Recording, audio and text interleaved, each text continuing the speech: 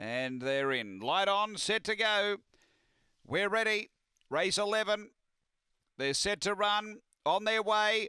And speed from Blue Bayou going quickly. Springvale Anna's going to drive and lead. So Springvale Anna clear out by three or four on Blue Bayou. Uh, then Mr. Ibrox who's back second last. And back at the tail, Gold Blaze. So a lap out. Springvale Anna away by six over Blue Bayou. Uh, getting to the rail now, Mr. Ibrox. Still six or seven off the lead. And Gold Blaze back at the tail, but down the back, Springvale Anna is away by five or six here. Giving chase, Mr. Ibrox now. A couple away, Blue Bayou. Then Gold Blaze up to the turn. Springvale Anna by three. Mr. Ibrox trying to bridge the gap. Springvale Anna in front. Mr. Ibrox charging through now. Mr. Ibrox went on to win.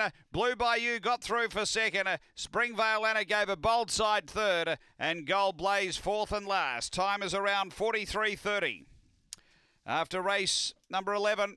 And uh, numbers are 7, 5, and 3. Number 7, Mr. Ibrox uh, for Shelley Trengove. He got warm late and was able to steam through. It's 7, 5, 3, and 1. Uh, five second Blue Bayou also for Shelley Trengove. And third to 3, which is uh, Springvale Anna for Bob Fletcher.